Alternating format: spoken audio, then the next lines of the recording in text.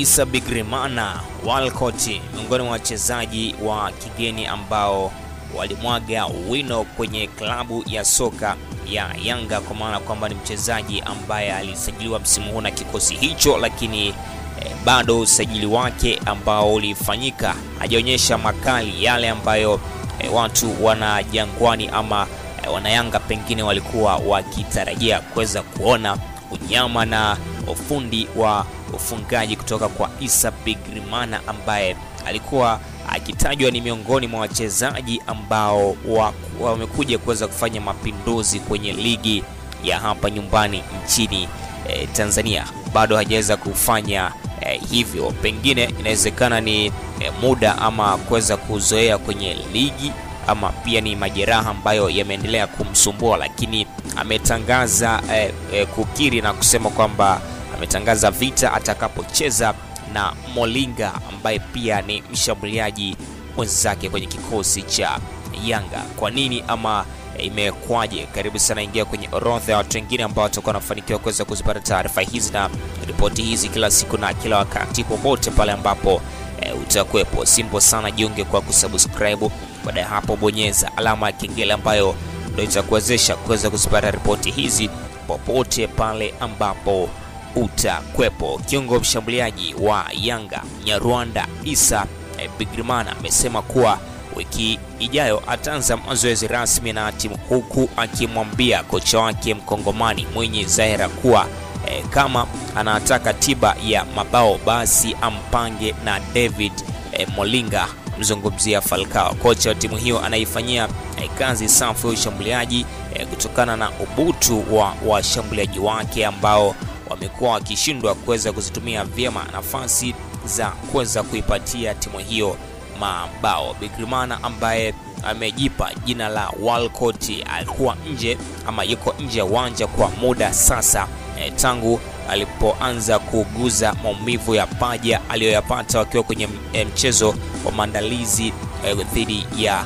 Township Rollers ya pale nchini Botswana. Bigrimana anasema kuwa amekuwa akiumia akiona washambuliaji wenzake wakishindwa kutumia vyema nafasi wanazozipata na kusema atakaporejea uwanjani angependa kuweza kupangwa kucheza pamoja na Molinga atakayecheza namba tisa na yeye kumi ili kuweza kuhakikisha wanamaliza tatizo la ufungaji. Amesikika akinukuliwa akisema hivi: Molinga alikosa mechi e, fitness e, tu wakati anakuja Yanga, kwani alichelewa kujiunga na timu tofauti na wachezaji wengine kama mimi niliyowahi e, pre-season. Nina imani kubwa na Molinga ni kuhakikishia kuwa kama nikirudi na nikapangwa kucheza naye pamoja katika safu ya ushambuliaji basi e, tutafunga mabao. Akasema kwangu mimi ni mshambuliaji bora mwenye uwezo wa kucheza namba tisa katika eh, timu. Ana kasi, nguvu na akili nyingi za kufunga mabao wale wanaobeza kiwango chake na kuhakikishia atawanyamazisha hivi eh, karibuni. Ni maneno ya Issa Bigrimana ama Walcott kama ambavyo mwenyewe anajiita. Eh, kwa sasa anauguza majeraha ama yuko majeruhi na yamemfanya yeye kuweza kukosa baadhi ya michezo ikiwemo hii ya raundi ya kwanza ambako Yanga inaenda sasa kucheza mchezo e, wa marudiano pale nchini Zambia.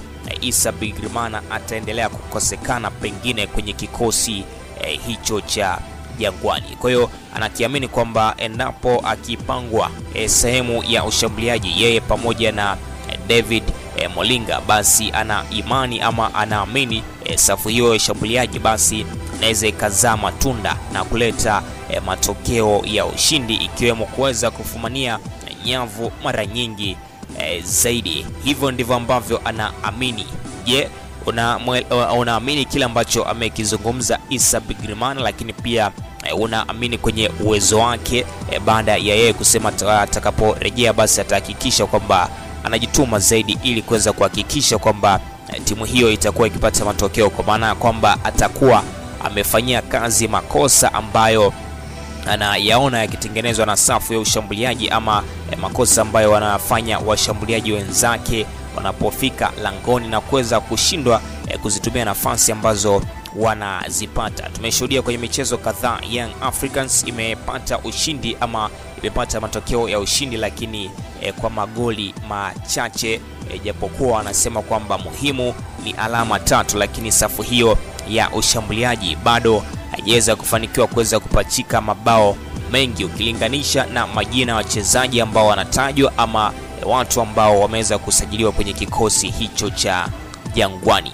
Nafahamu utakuwa na maoni juu ya hili, usisite yaandike, halafu e, nitakuwa nayapitia na nitayafanyia kazi pale nitakapokuwa tu nimepata wakati wa kuyapitia maoni e, yako. Ni kusihi ili uwe unaweza kupata ripoti hizi kila siku na e, kila wakati, jiunge tu kwa kusubscribe. Baada ya hapo unabonyeza alama ya kengele ambayo itakuwezesha wewe kuweza kuzipata taarifa hizi kwa wakati kupitia kwenye kifaa ambacho utakuwa unakitumia.